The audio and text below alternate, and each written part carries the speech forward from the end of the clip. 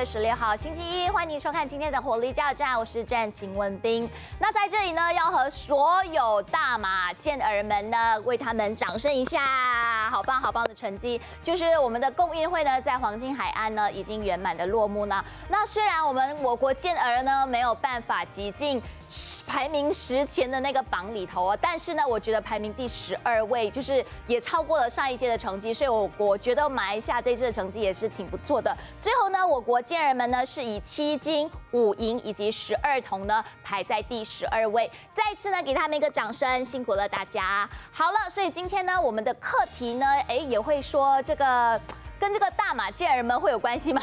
其实也不是啦，就是说，其实我们的那个宝宝哦，你知道吗？刚出世的时候呢，当然我们是说宝宝要很好的去栽培啊什么。但是现在大家会发现到吗？可能宝宝这个过敏的问题呢，哎，也是受到大家非常的关注的。所以今天呢，我们就好好的来谈一谈宝宝的过敏源到底是什么。不过在这之前呢，我们先把时间给 Desmond 来学学今天的每日一字。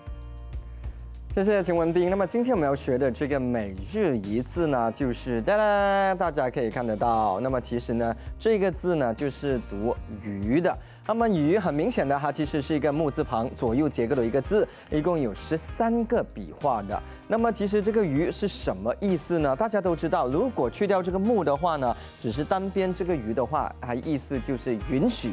但是加上了这个木字旁之后，那个同读音，但是呢里边的这个意思呢是完。完全不一样的。那么什么意思呢？主要呢，这个鱼呢是一种树木，可以供给这个建筑或者制成器具之用，或者是你可以看到有些人的姓氏呢也是用这个字的。那一般上这个字呢，如何和其他的这个字一起配起来使用呢？比如说，我们先来看第一个，就是啊鱼夹。那鱼荚或者是鱼钱呢，其实就代表了这个榆树的果实，形状非常圆小，像小铜钱一样，所以呢，它也叫做鱼钱。那第二个就叫做粉鱼，粉鱼呢就是白鱼的别名，或者是乡里的意思。那比如说，我可以说我是秦文斌啊，秦文斌和我呢，其实是。粉鱼来的，那就是说我们两个是乡里的意思。那除了这个之外呢，还有这个桑鱼。那到底什么是桑鱼呢？那么其实啊，看呃还没看桑鱼之前呢，我们先来看看这个。粉鱼松丘，那么什么是粉鱼松丘呢？就代表了粉鱼比喻乡里，松丘比喻了已故的亲人。那啊，它的意思呢，就是怀念故乡啊，就是悼念亲人的这个意思了。那么除此之外呢，我们立刻来看一下有关这一个桑榆或者桑榆晚景。桑榆木槿，那么意思就是桑树和榆树日落时的阳光照在这个桑榆之间，用戒指盘晚，所以呢又比喻人的晚年了。比如说一个人啊年老了之后，他其实就是可以用类似这样的一个成语来描述他的。那除此之外，我们还可以看到就是这个失之冬雨，收之桑榆。那指的就是呢，虽然你开始有损失，但是最终得到的补偿，后来呢是指这个事于未晚呢，尚可补救的一个意思来的。那除了这个之外呢，还有这个榆木疙瘩或者是榆木脑袋，那意思是什么呢？意思就是坚硬的榆木棍，比喻呢就是思想顽固不化，或者是脑子不开窍的人也有。就是形容一些就是比较固执的人呢。那最后一个呢，就是鱼方之见。鱼方之见呢，比喻的就是榆树和方树啊，在一个狭小的一个天地当中呢，后来用以比喻浅薄的啊见解，或者是你可以用这个跟这个井底之蛙呢有一点同意思的啦。那么今天这就是我们要学习的这个鱼字了。好的，我们立刻来看一下今天我们的主题要谈些什么。循序渐进，识别宝宝的过敏源。宝宝与儿童过敏的案例日益增加。根据马来西亚过敏及免疫学会调查指出，我国每五名儿童或婴儿当中就有四人可能患上过敏症，几乎百分之六十的过敏症状是在婴幼儿时期出现。过敏症是无法完全治愈的，因此预防胜于治疗，做好宝宝过敏的预防工作非常的重要。正确的了解导致宝宝过敏的原因，才能有效让宝宝远离过敏源，健康成长。那么，到底宝宝过敏的原因与症状有哪些呢？妈妈们怀孕期间的饮食是否会诱发宝宝的过敏体质？日常生活中，家长又该如何找出宝宝食物中的过敏源？今天活力加油站就教您揪出导致宝宝过敏的元凶。是的，那粉鱼，我想问一下你，那么其实啊，你对这个敏感的这个事情呢，啊，其实多了解，你有没有曾经就是遇过类似这样的一个状况？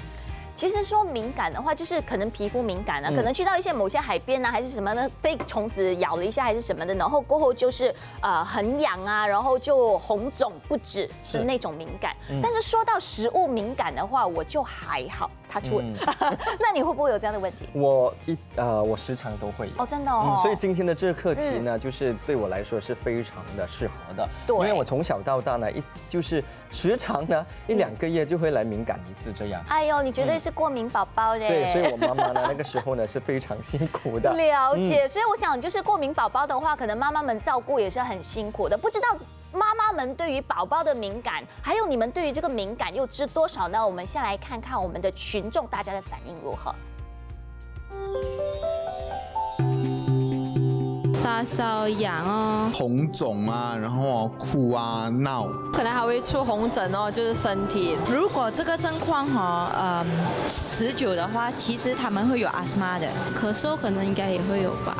敏感跟哮喘是一家人的。还是会有影响的，会有影响啦。我觉得会诶，就是因为你吃什么，baby 最吸收什么。可能就是你吃一些食物，其实反而会提高他们免疫力啦。像老人家他们有说，呃，如果妈妈在怀孕期间的时候喝冷喝冷的东西的时候，其实会影响到婴儿出生的时候，他会有那个呼吸道问题啊。从肚子开始，其实也是要照顾了。通常一开始的时候，好像手啊痒痒那些啊，我们会擦 lotion 给他滋润，带去看医生先哦。然后呃，要 check 看一下他们是对什么东西过敏这样子。严重起来，其实我们会带他去看 specialist 的，去看医生。那么其实我觉得过敏的这些事情呢，其实你你很难去讲的，你懂吗？因为有时你宝宝在哭啊，或者他发烧还是什么啊，其实你不懂。那么在西医的那方面，很多时候都说，如果有什么，就说什么 reaction 啊，类似这样东西，他都说是过敏。所以过敏这个词呢是非常广泛的。对，然后可能大家就会觉得，哎，到底那过敏源是什么呢？然后吃了什么会导致过敏呢？所以今天我们就好好的来深入了解这个课题。马上请出我们的 Esther 老师。Esther 老师你好，老师好，我们的专家。真的。那刚刚就是我们有问到我们的家长嘛，就是他们说常见的就是发烧。啊，还是怎样痒啊？那一般上是怎样？也是啊，也是这些的。因为呢，我在我们的啊敏感敏感很多时候呢，我们第一件事想到的就是我们的免疫系统。嗯，免疫系统是帮我们去把那些有害的侵犯，我们去抵抗它。嗯，但是因为呢，这些有害的呃物体呢进去我们身体，然后免疫系统有很过量的、很很很特别啊的反应，所以呢会导致我们身体有很多不同的反应出来。嗯，就是因为我们的免疫系统是保护我们，但是因为过分的去保护或者是过分的去啊反应，嗯啊，所以就出现了这些问题。就是它它其实类似这样的一个反应，我想说，啊，是说你是说了什么？就会怎样的状况还是不一定的，不一定的，看你的身体的体质。所以呢，有些人特别会对食物敏感，但是有些人是不是食物敏感，可能是周围环境的敏感。有些人甚至是呃花粉的敏感，也不知道的。所以呢，很多人会有不同的反应。所以你一定要去知道自己的啊敏感过敏是什么，然后要知道了解什么是你的过敏源。源 OK，那我们常见如果是在宝宝的话，可能对于皮肤过敏的话，可能就会起一些红疹啊，然后麻疹啊，很痒啊，对，然后甚至呢就是有一些那种呃红斑啊，然后瘙痒啊，还会干裂啊，对，然后它会一层一层的裂出裂出来，那个就是很鳞状的那种，对的，那个是鳞状的，有些是湿湿的。有些呢是出豆这样的一粒粒粒的，也是有的。有些呢你会看到小孩子一路抓一路抓一路，看上有些宝宝哈，他们不会说话，但但是他们的的那个行动或者他他讲的好像咿诶，他就是很不舒服，就是因为那个反应出来给他，然后他好像有些小孩他们流口水，嗯，这些口水也会导致你的皮肤很敏感，嗯，也是其中一个感嗯。其实我我就是小的时候，我就是会有些时候你会很痒。那首先可能它会先出一颗红点，嗯，然后越出越多的时候，两个呢会结合在一起，然后变更大颗的，很恐怖的。那想问一下，就是除了皮肤之外，有没有说其他的呃，可能呃其他的那个呃。就是可能食物啊，还是其他的这个敏感，好像像我们的那个敏感啊，呼吸敏感啊，或或者是有时候你看到有些小孩子在气喘着啊，或者是或者是听到它里面的肺哈有那种声音出来，我们这种声音，我们好像对，好像以为它是气喘的那一种。其实它不是气，它不是因为它有 asthma，他是因为对某些食物敏感，或者是它的空气有那一种啊过敏源，所以呢它在里面。他他因为他的呃呼吸那个气管呢红肿了。窄，然后肿了，所以呢，它你会听到它里面有声音。这个我也曾经本身也是有试过啊，真的哦。一般上我就是会红，就是起红点，然后就是呼吸困难，你真的好像会呼吸不到的，嗯，就是蛮危险的，老实说。对呀，所以呢，有些小孩对那些食物是立刻知道他吃了过后他会敏感的话，然后呼吸有问题，就立刻要带他去医院，不然的话呢，有些会导致死亡的。嗯，所以这一个过敏呢，其实不要小看它，它其实可以导致。呃，很很大的问题出来。老师，如果是消化系统过敏的话，是会怎样？就好像比如，比如说你肚泻啊、肚胀啊，很恶心，又又不想吃食物，好像小孩子你喂他，他不想吃那种。有些人要吐，有些小小宝宝他们喜欢呃吃少少，就会很恶心的那种吐那种感觉呀，这个也是会导致的。有些呢会有时候你的口口咽口腔里面。有有些溃烂啊，或者是很容易啊有凹色那种哈，那是也是可能是因为有些东西导致这小孩子呢过敏。哦，那老师，我们看到这个粘液状腹泻，是不是指的我们俗话的那种叫欧老塞？这一种呢，你看到它拉拉出来的哈是黏黏稠稠的，嗯，就是黏黏，你看到它有一种黏黏的液体出来啊，那个那种呢，就是因为你的身体里面呢在排出来。哦，就排毒，它是其其实是帮你排毒，但是你过分的去排这些东西，就是说你会把你里面，因为我们的肠哈有一种黏膜的，这些黏膜其实是帮助你去啊抓住那些有害的物质，所以但是你每一次给它泄泄泄泄出来的话，这一根黏膜会慢慢的不见，哦，所以你很多时候呢，它保护不到你。为什么过敏呢？就是因为这个黏膜已经没有它的效用了，所以越来越薄。明白。嗯，那么老师，我真的没有听说过，就是神经系统或者脑部也会过敏。因为呢，你要知道哈，我们的肠胃呢是我们第二个脑。嗯嗯。如果你的这个免疫系统呢，因为我们七十五八线的免疫系统在我们的肠胃，如果肠胃受损了，或者是你的肠胃不好有过敏呢，它会导致我们的脑神经。所以为什么有些小孩子很好动啊？有时候睡不好啊，睡到半夜吵啊，或者是有时候睡得不很很很呃沉下去，就是因为他对某些食物呢导致他的脑敏感。嗯，所以有时候小孩子哦，他的他的那一个嗯那个什么，他的呃反应下来呢，有些宝宝哦，他没有什么大问题，只是很喜欢吵吵闹闹。嗯，有可能是因为他吃错了食物。或者是母乳里面错了，明白。老师，我想问，比如说，呃，你说过敏是因为要呃排斥它嘛，对不对？嗯那会不会就说我就是可能出现了类似这样的一个状况？嗯，可是毒素还是在我身体里边吗？毒素，因为哈，你这些食物呢，它其实是过敏源，这些过敏源呢，去导致我们的呃那个啊免疫系统去反应下来。嗯，如果你给它拿走了后，它就没有反应了，所以那些那些什么啊症状啊，全部会退下来。所以就是全部毒就排完出来了，给它排出来咯。你排出来那个过敏源已经不在身体里面嘛？你给它排出来呢，那些症状全部就会走了。但是你又加回进去的话呢，它又出来。所以有些人呢，就是他不知道他是什么导致他的过敏源，嗯，他一直一直的侵犯我们的身体，是是是，你就会导致你的身体呢，就一直下去就会有过敏的现象，好恐怖。所以有些小孩哦，他从小到大看到那时候就慢慢的它会呃，因为你搭的时候，你的身体的免疫系统好了少许，嗯，然后它好像不见了，但是呢，它到了某个年龄，它会回来的。明白。像老师刚才有提到有关这过敏的原因呢，那一般上是在哪里？过敏啊，过敏有很多个不同的来源，嗯，有可能是你的食物啊，有可能是你的环境啊，你的啊宝宝的床上的用具啊，因为可能是有那些螨尘啊，或者是它很玩具有毛毛毛的，或者是有时候你家里有有养那些宠物是有毛毛的，嗯，这些也是会导致呃过敏。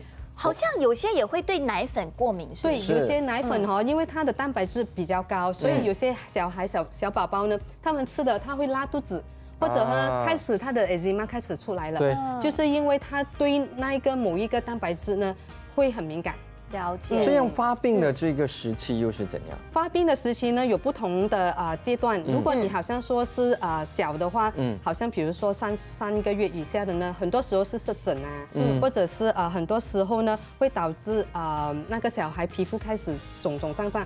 但是很多时候呢，我们会看到的就是啊到呃三个月到六个月到九个月这一段时间哈，你会看到的啊那个症状呢又不同了的，它可能是在呃。脚啊，气喘啊，气喘啊，啊，这些这些嗯，这些地方，嗯，然后过敏性的这个鼻炎，一般上在七岁到十五岁以后，对了，就是大一点，就是你差不多一年级以上了，你会看到气喘开始来了，嗯，十五岁这些这些，所以不同不同岁数的那个过敏的那个症状也会不一样，不一样，因为它不同，因为小孩他是你看哈，好像 baby 的话，很多时候是喝奶的，所以呢，很多时候就是从我们的胃那边开始。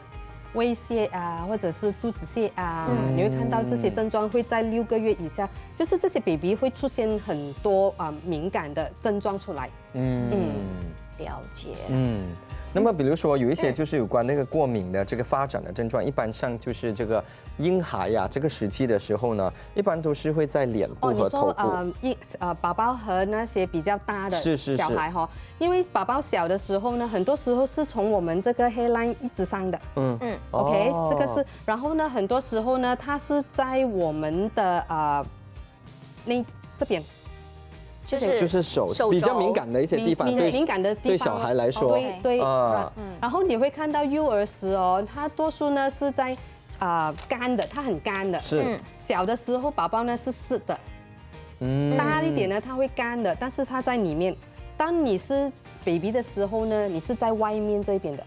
哦，还有分别哦，它有分的，所以呢，不同的年龄哦，它会长至不同的地方。嗯，可能那边的那个皮肤层比较脆弱一点啦。好，那么立刻来看一下，其实你如何去啊发现或者是看一下你宝宝是否是生病了。如何判断宝宝是否生病？嗜睡或无精打采，宝宝日常需要长时间的睡眠，因此父母通常很难意识到宝宝可能已经生病了。但如果宝宝的睡眠时间变长，而且很难叫醒喂奶，即使醒了也是昏昏欲睡的样子，并且对于视觉的刺激或者声音没有任何的反应，建议带宝宝到诊所或医院检查。食欲消化改变，注意宝宝是否进食的比平时还要少，是否有便秘、腹泻或呕吐的迹象，小便是否变得更频繁，而且颜色变黄。对于这些改变，有可能是宝宝受感染或生病，所以不能忽视。注意呼吸变化。如果宝宝呼吸发生变化，出现鼻塞或气喘的声音，这些呼吸上的迹象有可能是宝宝患上了感冒。注意宝宝是否有呼吸困难、流鼻涕或者是咳嗽的症状，应该尽快带宝宝就医。异常哭泣。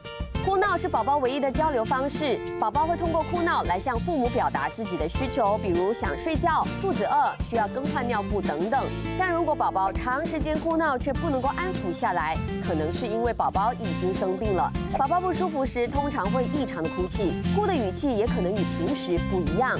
宝宝若是出现了异于平常的行为，就应该检查他是否有生病的迹象。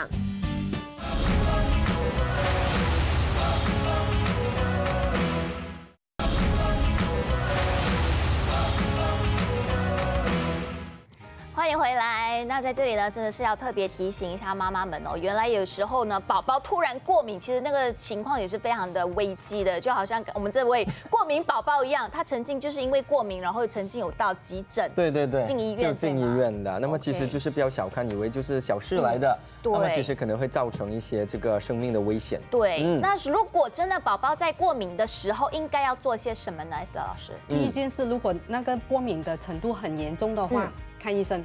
找一个专科专科医生去看，是因为要去啊定断你其实是什么过敏。嗯，因为你如果可以知道你的过敏是什么，你就可以立刻知道它的它呃的就诊的那个时间。嗯，因为越短的时间呢，你可以修复的比较快。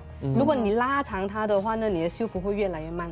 老师，我想问一下，现有的这些呃化验，因为我曾经也做过几种，对，那么其实也是很难去定夺的，有没有一些？其实你可以用血。小孩也可以用他们的手指钉那血出来，然后呢就放在一个啊纸张，然后就去到 lab，他可以给你知道哪一个食物是敏感的。嗯，如果有些呢，他会给你知道你对什么啊尘有敏感啊，毛啊，或者是其你的环境。对。环境也可以验啊验出来的。哦，就是平时我们去验吗？还是在病发的时候？啊找找医生？平时对，你可以找一个你的专科医生去，或者普通的家庭医生，告诉他我要去啊做一个 IgE test，然后 IgE test 他就可以知道你是对什么敏感。如果你是食物敏感的呢，我会建议你去做 IgG test，因为是不同的，因为 IgG 呢它是 check 你的食物吃了过后三四天、五天过后才可以浮出来的那些症状。所以很多很多妈妈不知道，小孩宝宝吃了这一个呢，可能是五天过后才出现的那一个症状。是。所以这一个 test 呢是很重要，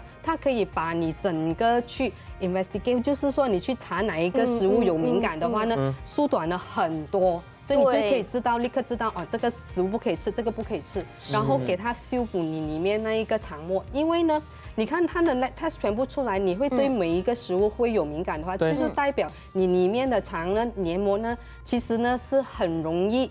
被侵犯，所以呢，你要给他慢慢的修补回，可以的。老师，可是人呐，就是会不会随着这个年龄呢，对这个敏感的事物有做？其实啊，如果你小的时候呢，呃，比如说还没上学的时候呢，你对敏感是比较严重。去到你上学，免疫系统已经好了，你已经可以看到比较少。但是呢，到到差不多十二岁到啊十八岁这一段时间呢，他可能会浮出来，是因为那个孩子已经开始变化。嗯，他的荷尔蒙开始变化，对了，他就可能又回来。有些呢，甚至到了你二十多岁、三十岁，嗯，因为呢，他那个时候免疫系统可能开始下降了，他又开始跑回来。所以很多人会说，哦，我以前有哮喘，但是到我差不多六七岁已经没有问题了。嗯，但是到到后来就是三四十岁的时候呢，又跑回出来，是因为你的那个系统慢慢的变弱了。嗯，所以很多时候你就要去。定断你自己其实对哪一个敏感，然后给他排除它，OK，就不要给他碰到。可是安瑟老师，我有听说过，就是他们说，呃，如果是有喝母奶的宝宝，好像抵抗力会比较好。对呀，因为里面我们的那个呃母奶里面和母乳里面呢，它里面有一个呃很好的抗免疫的肢体，所以呢，它可以帮助宝宝的免疫系统提高。当你的免疫系统提高的话呢，你对呃，那些有害的那些食物或者是啊过敏源呢，是特别好的去呃把它抗掉，OK。然后还有一样东西，因为你喝母乳嘛，你对其他的那一些啊蛋白质呢，你已经是很少去接触它。嗯。你少接触的话呢，对于你的身体也很好，因为你没有接触它，它就不会有一个反应。嗯。但是当时，那你你看那些母乳进去身体里面的话呢，它提高你的免疫系统。也更好，因为这边提高，这边没有去 expose 它，它就比较强壮，然后比较健康一点。那除了这个之外，有没有说其他的一些方法呢？比如说。啊，是不是不应该吃很多这些添加物的食品？哦，好像小孩子还小哈，尽量的话不给他吃太多有鱼或者是有很多虾的那些 prawn 虾哦，因为这些呢是呃外来的那些蛋那呃蛋白质，然后蛋白质也比较高，所以这些呢，当小孩还是小宝宝还很小的话，不给他吃太不给他开始过后才可以。多数呢，你看呃一岁半两岁你才开始给他吃这些少少的给他吃，你可以。给他少少的吃，然后看他有没有反应。如果他没有什么特别的反应的话，你可以继续给他吃。不然的话呢，如果你他他还很小哦，然后你很早就给他啊、吃到这些很高蛋白质的话，它很容易就会开开始很多这些症状。有些妈妈呢，有觉得哦鱼很好，对小孩很好啊，就煲那些啊、鱼粥啊，其实呢小孩还没有那个能力去消化到它。哦所以为什么说母乳呢？如果可以的话，尽量六个月过，你可以喂到六个月。如果你本身妈妈哦有那些啊、敏感的历史的话呢，你尽量喂你的小孩带到十二个月。十二个月，或者你可以再上到去十八个月，因为这样呢，你可以保护你的宝宝。如果你说我家庭没有随时有这些有敏感的历史，你可以喂母乳喂到六个月，然后开始给宝宝吃啊附加那个啊 solids。嗯，开始给他吃粥啊，或者是，但是你开始的时候就不要给他吃吃太多蛋白质的食物。明白。嗯那么也有就是说，就是避免在一些干冷的地方做运动。这个是什么呢？就是说，在一个很冷的冷气房里面，嗯，做运动。有些不是只是说宝宝，有些大人他们很喜欢在 gym 里面很对呀冷的，，gym 就是这样啊。冷冷的，然后去做很强烈的，你的那一个症状会跑出来的。哦为什么哈？因为是冷和热忽冷忽热吗？突然间，所以呢，你的身体适应不到，哦。所以呢，其实是其中一个过敏的呃症状来的。会。这样的。嗯然后当然就是要保持健康卫生的环境了妈妈避免使用一些刺激性强的化妆品。对。这也因为呢，好像比如说宝宝这些食那些用品哦，尽量嗯太阳好的时候呢，拿去给宝宝晒。拿去晒，因为呢这些可以把它杀菌的，啊那些尘呢可以给它弄掉。是然后有时候呢，你看到呃那些宝宝的呃东西啊，你看到很多尘在那边哦。给它消毒，嗯，哇，这些吸进去哦，宝宝就很容易有气喘的问题。了解。那如果是在母胎的时候，有没有什么要特别注意的？在母胎的时候，如果妈妈本身哦已经是有那些呃过敏感的话呢，是那个食物不吃，好像你在怀孕，你觉得你吃蛋你会有这个问题，你不吃蛋，因为呢蛋可以你吃了过后，它可以从你的胎盘传给去你的小孩宝宝，宝宝也会敏感了。也会敏感的，所所以以尽量就不碰它。所以就是比如说，好像我是一个敏感宝宝，那其实是我妈妈，可能那个时候啊就补充，呃，就是可可能他自己不知道。所以他就去做做做做做完了之后一直过敏，然后然后我会过敏了，所以所以记得不要去就是触碰一些过敏的一些食物啦。怀孕后后期呢需要提防曾使用过的一些过敏的食物咯，是避免让孩子通过这个胎盘啊胎盘直接性的这个间接性的这个过敏啊，你要记得哦，因为你要怀宝宝，你不要像我这样啊。还有有些妈妈在在母乳的时候呢，嗯。就尽量有什么是很容易导致自己敏感的，也不给他吃，因为呢，你吃的东西也是宝宝吃的东西，很容易的一个一个呃 test 呢，怎么样呢？你吃榴莲哈，你的母乳是榴莲的味道。啊？是的，是然后还有好吃 flavor 的，还有如果你吃很多 flavor 鱼的话呢，嗯。你的母乳呢很多鱼的味道。所以呢，如果许如果你是比较有啊、呃对这些食物有敏感的话，尽量不吃它。这应该怎么喂？我想问一下啊，比嗯如说前几个月应该怎样，前后几个月又你怎样？是说啊、呃四个月以就是喂那个母奶的时候啊，好对，像比如说你喂着的话，你知道蛋不可以吃的话，你不要碰哦。是。就然后呢，你就看你要学会怎么样看那个食物的那个标签。比如说，如果给宝宝呢，宝宝就是我前四个月就喂母乳，过后九个月开始可以开始吃手粒，对。啊啊，然后吃手粒的时候呢，你就尽量不要给他吃太多蛋白质的，就是给他吃那些没有那么容易过敏的食物。嗯，比如说啊、好像就是这些呃，四个月前你给他吃纯母乳，到四到六个月你给他啊、添加这些辅助食品也可以。哦所以如果你好像说你可以坚持到十啊十到十二个月的。喂母乳是。是很好的，因为那个宝宝宝的那个啊啊、那个呃免疫系统呢会比较强一点。比较 stable 的 stable 一点，所以呢，因为他消化，你要知道哦，每个小孩宝宝哦，他们一出世，他们的那一个消化功能还没成熟，对明白，还没成熟，就当他的食物进去的话，他根本分不清这是好的还是坏的。是，呃，我想问一下，就是其实妈妈比较直接性啦，如果爸爸还好是吧？爸爸还好了，但是如果比如说遗传性哦，遗传专家专家有讲过，如果你是你有敏感，你的老婆没有敏感的话呢，宝宝得的啊、敏感呢大概是三十 percent 罢了啊，就是三分之一。如果两方面都有的话呢，你的宝宝得过敏呢是七十 percent。哇，就比较就是很高很高，所以呢，爸爸妈妈一定要注意你们饮食的。是了解，嗯是的，S 的老师不断的在强调饮食，所以待会回来呢，老师会逐一的跟我们来分析一下不同的食物呢，它的过敏源又在于哪里。嗯，我们先休息一下。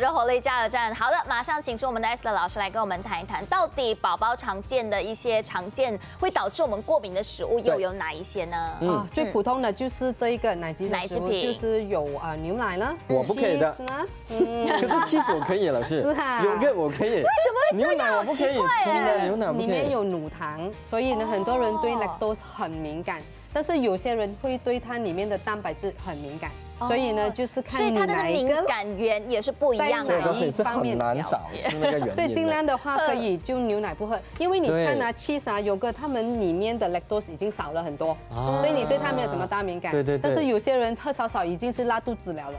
我喝一点点，我就那一天你会看到我很辛苦的。了我上厕所是不会出来，又泻肚子又呕吐。哎呦 OK，那除了牛奶之外呢？刚才也讲过了，很多蛋白质的食物就是它的敏感源。你看鸡蛋也是很高的蛋白质。我有一个同事之前就是不能吃鸡蛋，他吃了之后，他会生一颗一颗小小粒的，然后好像有脓粒对这样的，泡出泡泡的出来。很可怜。因为我觉得如果不能吃鸡蛋，你很多食物你就不能吃了。对啊，因为鸡蛋好多。现在已经很好营养了。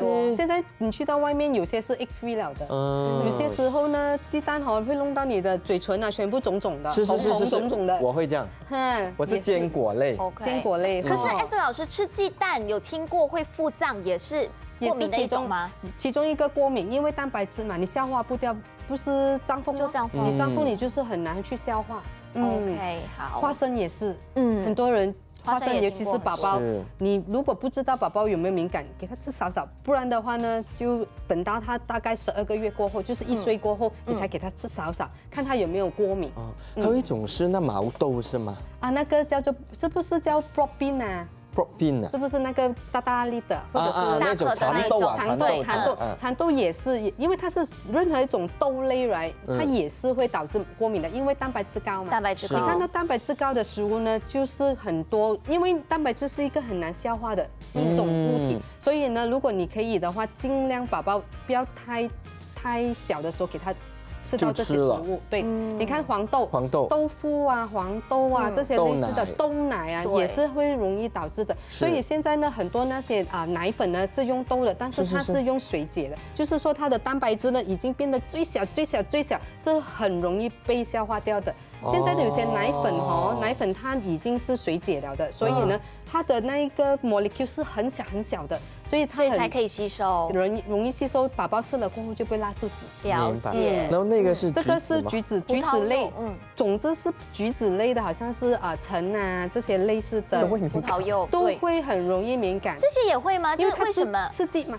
它刺激你的肠道，哦所以呢哦，宝宝小的时候不给他吃太多 orange 啊、嗯 lemon 啊那些比较葡萄柚啊这些。有些人是每一天都要给他吃是那个，哦是啊，有些太酸了然后每天就在那边敏感。还有在这边哦，你们没有看到有肉类。如果你是吃肉类的小小宝宝，尽量鱼啊、虾啊这些不给他吃不要给他太多吃。还有那些贝壳的贝壳类不可以了。呃，对了，那些啊贝壳啊 scallop 啊不是很多妈对对对对对，包粥会放一点进去的，对那个也很容易导致敏感的。有些宝宝呢，妈妈很喜欢放什么公鱼仔。嗯，是。那些小小的，因为他说嗯。哦，这个呃有味道啊，又有益啊，里面有很多钙质啊。钙质但是不要忘记哦，这些呢全部都是会导致，因为蛋白质高嘛，对。所以也会导致宝宝很容易敏感。所以很很小的孩子哦，嗯。尽量这些不要给就不要给他。不要吃的很过分了，是是是。少少少少的就。就可能等他长大，可能当然他的免疫系统好的那个一点了。对了，还有他的消化系统好了一点，成熟了，你才给他吃。明白。嗯，老师那个这个呢就是可以可以，哦这是可以的。你可以给他去 swap 的，就是比如说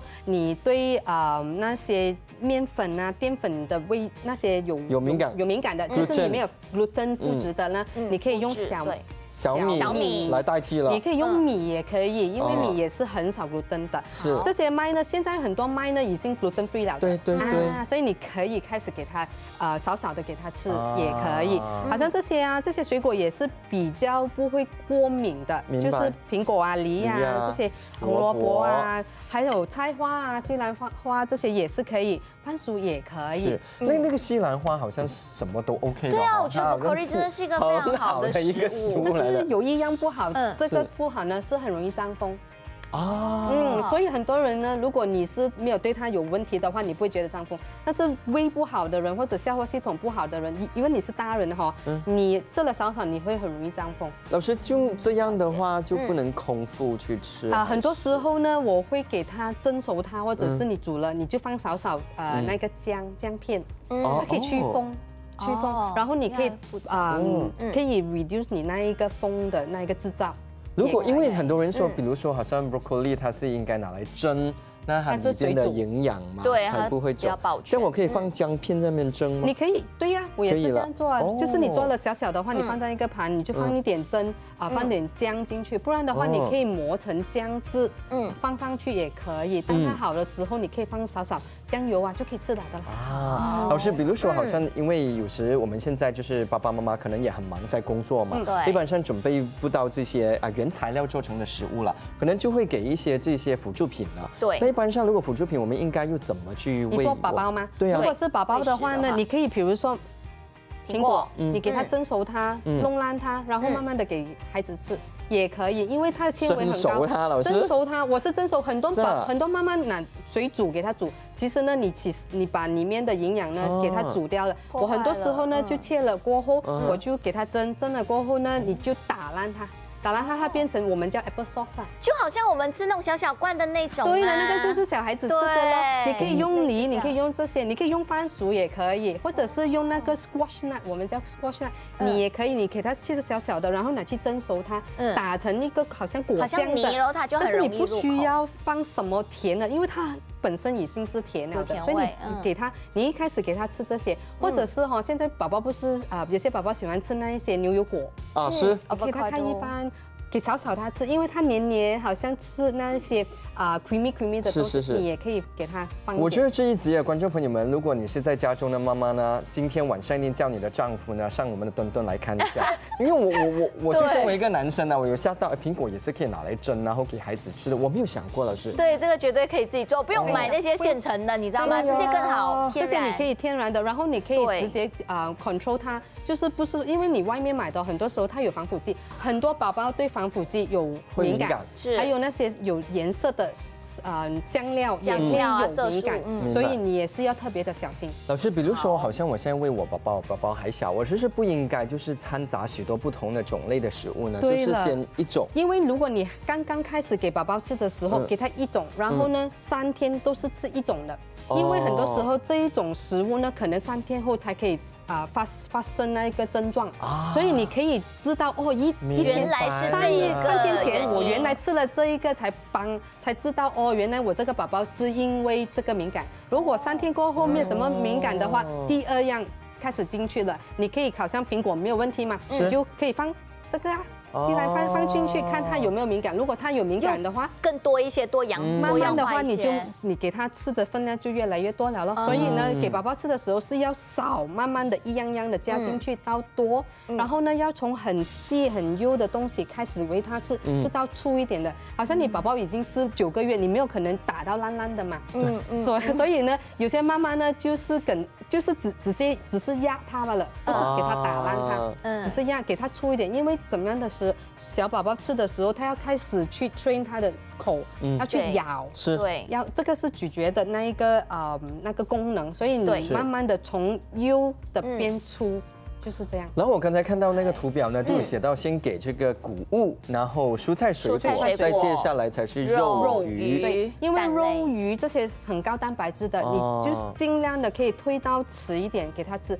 谷量的，好像比如说那些饭啊、小小米啊、粥啊，这些是不会导致有身体的过敏反应。这个你可以给他事先。如果一些食物呢容易造成一些过敏，比如说花生啊、黄豆呢，就要就是最好一岁之后呢才给你的宝宝吃了。对了，对，没错。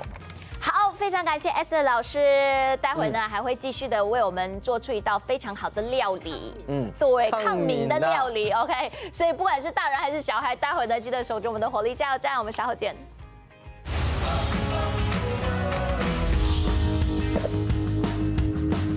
大家好，我是严俊威，我是 Mayfit Kodak Morning 的防身术教练。今天要教大家的是，当被攻击者从背后熊抱，手是自由的时候，要如何逃脱？这一个防身术与用到的部位会是手部、手镯、膝盖以及腿部。当被攻击者从背后熊抱，虽然手是自由的，但是千万要记得，还是要稳住重心，以防被对方拖走。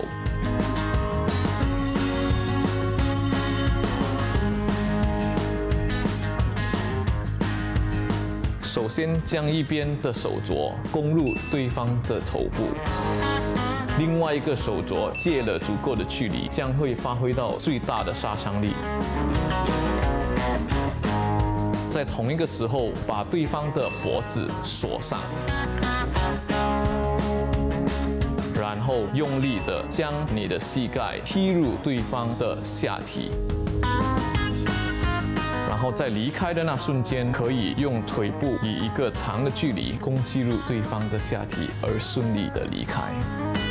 有些观众朋友也许会觉得这些防身术是需要练上一长段的时间才能够发挥，其实并不是这样的。我们为大家准备的会是非常简单，而且能够在熟练中发挥出真正效率的防身术。希望观众朋友能够花一些时间与心机，好好的掌握这些防身术，不怕一万，只怕万一。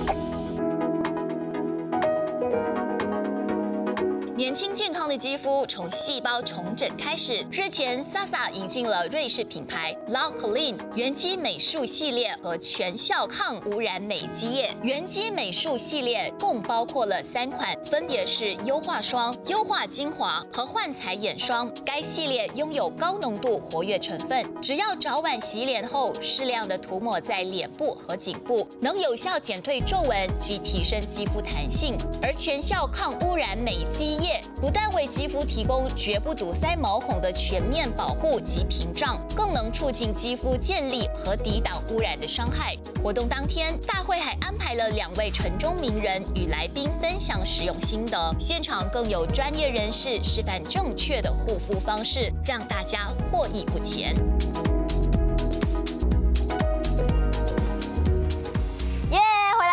天 S 老师会教我们这个西葫芦泰式沙拉。对了，很多人呃对面条有敏感。敏感。嗯哈，因为里面有蛋，对，还有 gluten 这两个，所以呢，今天我们不用的是面，我们用的是西葫芦。西葫芦英文是 zucchini，zucchini，所以呢，我们就啊要找的真的是一个 spiralizer，OK，这个叫 spiralizer，它转出来，spiralizer，怎么怎么用？spiralizer，这样啊，嗯，它是从哪里出来的？从这里啊？对，观众朋友看到没有？听到吗？你看转出来的时候呢，它的成品就会是这样，就成面条，对，成面条。哇，很神奇啊，这个东西。所以这个西葫芦就取代了我们面条的那个部分。对。可是我们只是吃这样子会饱吗？因为呢，它里面的纤维也是很高的啦。哦。然后这个是蔬菜嘛，所以呢，很多时候呢，它有那个饱足感。了解。然后呢，还有什么？有什么蔬菜真的？今天我有一些嗯不同颜色的啦，有啊这个黄灯笼椒。对了，有胡萝卜，胡萝卜，然后有洋洋葱。OK。然后还有的呢，还有这个这个是泰国的呃，我们的罗列，对，我们叫罗列。Parsley 啊，泰 basil，对泰泰 basil，basil 因为它有带着那种味道，很好吃的。嗯。对。然后呢，很多人对那些啊豆有敏感或者是花生敏感呢，我就代替了用那个葵花籽。嗯。啊，OK，葵花籽很好。所以呢，我们另外一个呢，就是要做它的呃，哎，我们做你的便当好吗？好好。来，哇，你看，哇哇，男士们这边已经搅的差不多了，老师每天吃这个会有问题吗？每天呐，嗯，你不咸的吗？不嫌腻的话就可以。因为我觉得这个可能可以拿来做减肥，就是如果啊，不是是啊，对啊，嗯因为它可以代替你的淀粉啊。对对，所以对瘦身应该你也可以，好像它吃的那一个口感呢，很像面。啊，除了用西葫芦，还有什什么东西可以拿来转的呢？硬的东西，就是比如说你的这一个红萝卜，红萝卜。嗯好像黄瓜可以不可以呢？其实不可以，不可以因为它很多水。哦。你转的时候，它的水全部跑出来了。明白了。然后另外一种呢，你可以用那个 squash nut 也是可以的。OK OK，好。做法怎么样？啊，这个给你，好。这个也是给你。好的，好。了，我们现在做的呢，就是还有这个是它的酱，因为这个只是它的粉。对，然后我们看一下配料好不好？简单的，这个是有柠檬汁，对。这是橄榄油吗？这个是呃橄，不是这个是油，普通的油就是 OK，普通。的油。然后呢有醋，醋对 OK 这个醋，然后呢有姜姜蓉。姜蓉，OK，蒜蓉。蒜末，对然后还有黑胡椒海盐，对，跟辣椒，辣椒。还有这是蜜糖。这个是蜜蜂糖，就是给它甜甜酸酸那个感那个感觉。好的，OK，个是你的哦。好，所以你看，我们就把那个东西西葫芦加入我们的便当里头。好，可以。然后就放你们要的菜了。哦，就这样子加入就可以了，这么了，简单的，对啦，就简单的。很随意的，你喜欢什么，然后就加进去就可以。好了，然后我可以，我可以用这个做啊，你给我那个碗可以吗？来，我做它的字。好，来，OK，那个字怎么样做呢？嗯。就是我们放这些先来，我们的油和醋，油和醋先放进去，醋其实全部一起放都可以的。好，大概要多多少呢？分量？嗯，好像比如说油和醋的话呢，是一对二，一对二，就是醋你可以你喜欢，如果你喜欢酸酸甜甜的话呢，嗯。你就放多一点酸酸的，不然的话呢，你就不需要放太酸。嗯。然后还有啊姜末，OK，喜欢吃吗？喜欢，非常喜欢，喜欢的可以放多一点吗？对呀？OK。就是你 OK，那种。姜姜也很好，你喜欢啊，嗯，放多一点。好，放不用这么多给你宝宝啊，那你宝宝不吃辣，OK，这应该少许的海盐吧？一点点对，了。调味，调味了，然后这个是它的蜜糖。蜜粉糖。我放一般的了，，OK，哦然好。后你就可以给它哇，那个味道就是酸酸甜甜，有点辣，对了，对，好像很开胃这样对啊。应该很开胃。，然后呢，在你们的那一个呢，可以开始放一点。你们喜欢吃辣椒吗？喜欢来我们什么都是。要你的洋葱呢？洋葱这里，哎，还有这一个，这个要怎么放？直接这这个要放样放啊？多少？还是要切一切？我们拿少少，好，这些少少够了，哦每样少少。加下去就很多了。对，然后它的味道就这个呢，你给我，我放进去这个。哦这个不是放自己的，对，嗯，我放在这里我们。迫不及待。哇，这个味道很香哎，这个香味是从那椰子出来是吧？九层塔吧，是吗？对对对嗯九层塔，哇，好香。就是类似这样的。如果喜欢酸酸的，就放酸酸啦。嗯，哦，哇，很快这样一个便当就出来了。对其实这个在早上做也非常容易啦，给你的这个宝宝带去上学啊，还是去哪里的，非常的简单，可是宝宝喜欢吃吗？应该是 OK 给那的。些嗯过过敏敏的人，的人，不过敏的人，好像好像你了。对，所以所以这两个是我的，对，绝对你的最佳便当。对。好，那现在我们再来重温一下今天为大家介绍的这一个西葫芦泰式沙拉。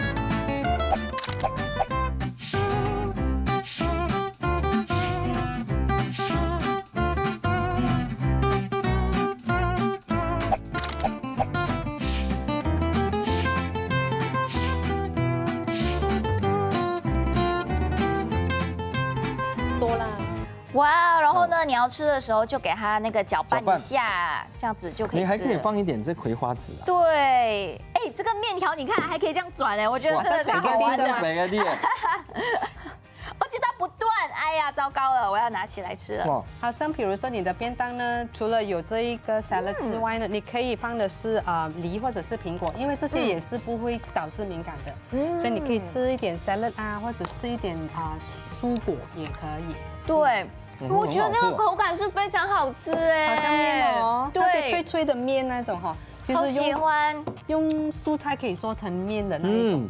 嗯，没有想到这个西葫芦做出那个面的感觉会是这样。然后有些时候啊，其实有些时候我不大喜欢吃这个沙拉，你每天就好像一头羊在那边吃那个叶子。如果你做成这样的话，你会觉得哇，很好吃。我觉得他刚才形容词太可爱，一头羊。我现在看到全部是青菜，这样很怕嘛，对不对？对。可是老师这样子的话，我们这样子吃会不会担心我们的营养不均衡？可能就比如说蛋白质的摄取啊。可能在呃淀粉那边呢，可你可以加其他的东西进去吧。好像比如说呃，如果你要蛋白质的话呢，除了刚才我们所讲的那些奶啊、蛋啊，其实呢，如果你要蛋白质，你可以用 quinoa 啊，也可以做成一个好像泰式的这种，因为它的过敏呢也是比较低的。是，但是也也有人呢对 quinoa 有过敏。过敏。可是老师，我想问，如果类似这样，女孩子会不会觉得是？很很冷，很很很寒？呀，对，但是里面有姜，还有蒜。哦哦，还有姜哦，对，而且还有洋葱，还有洋葱，所以呢，有时候呢，它是给它平衡回，就不是很冷，但是还会给它摆冷水，它那个收口那个气啊，我们这边了解。可是这样子可以适合每天吃吗？呃，我还是建议。每天不同的食物，因为营养方面呢，不只是它罢了，你还有其他的康敏的，有些很多食物呢也可以帮助康敏的。嗯，了解。好，非常感谢 S 老师啦。对，谢谢你。那么你家中，比如说像我类似这样的一个啊，这个过敏宝宝，过敏的宝宝的话呢，你可以做这道非常美味的这个沙拉。是的，好，想要重温我们今天的节目呢，可以到 triple w dot don don dot com dot my。那明天呢，我们的主题就会和他大家谈到呢，如果是突然晕倒，到底是。什么问题？还有正确的急救方式有哪些呢？记得守住我们的明天活力加油站，拜拜。